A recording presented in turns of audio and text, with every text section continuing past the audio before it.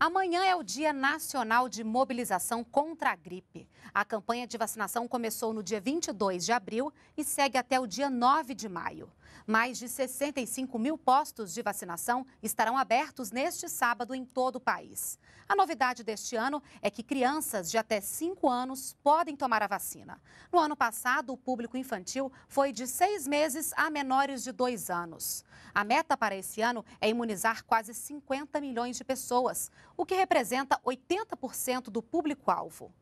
Além das crianças até 5 anos, devem ser vacinadas quem tem 60 anos ou mais, profissionais de saúde, povos indígenas, gestantes, mulheres até 45 dias após o parto, população privada de liberdade e os funcionários do sistema prisional.